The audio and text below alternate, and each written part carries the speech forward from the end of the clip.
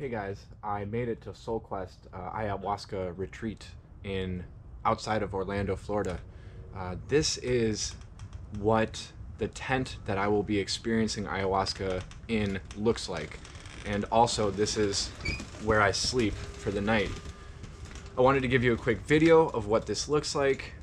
I have not ingested any ayahuasca yet. The first ceremony is tonight.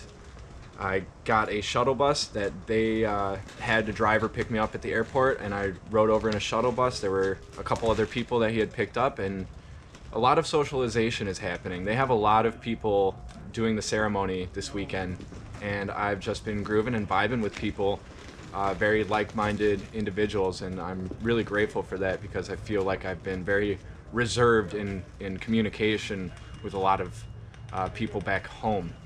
Anyway, so yeah, there's a, a, trash can at the end of every mat for purging in.